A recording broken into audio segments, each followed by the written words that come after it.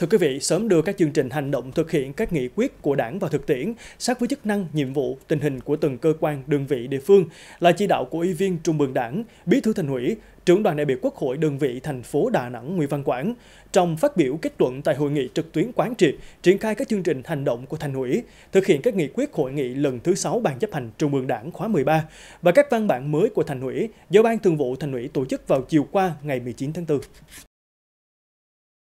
nhấn mạnh có nắm được những vấn đề cơ bản cốt lõi của các chương trình hành động mới có thể triển khai một cách cụ thể, đồng bộ, sát sườn vào thực tiễn. Bí thư Thành ủy Nguyễn Văn Quảng đề nghị các cấp, chính quyền, mặt trận và các ban ngành đoàn thể, cán bộ chủ chốt các cấp sớm có kế hoạch triển khai cụ thể các nhiệm vụ được nêu trong các chương trình hành động.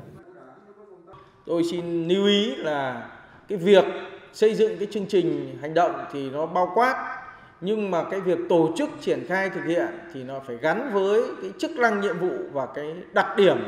của các cái cơ quan đơn vị. Do đó cái việc mà nghiên cứu chuyên sâu là một cái yêu cầu bắt buộc.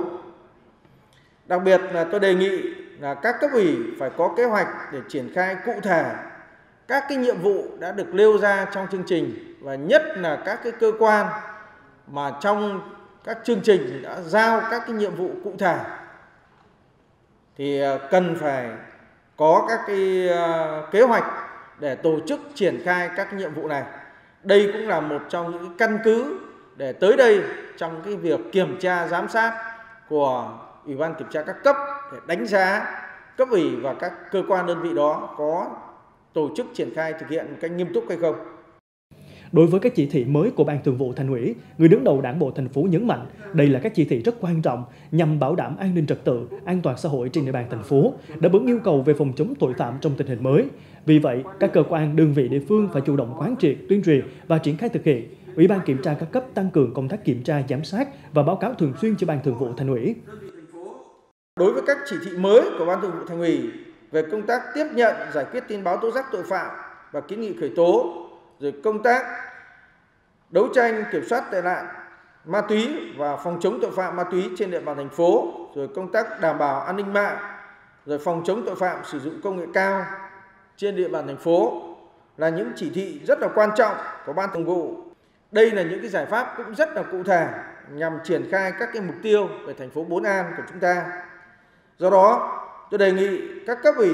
đảng và chính quyền, các cơ quan đơn vị địa phương phải chủ động quán triệt, tuyên truyền và triển khai thực hiện nghiêm túc các cấp ủy trong các cơ quan tư pháp, các cơ quan tiến hành tố tụng thành phố từ cấp quận huyện đến cấp thành phố. Phải có kế hoạch để triển khai thực hiện một cách cụ thể nội dung các chỉ thị.